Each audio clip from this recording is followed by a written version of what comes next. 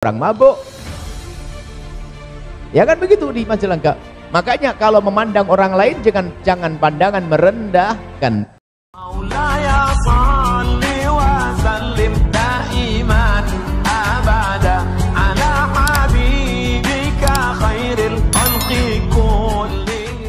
Terungkap penyebab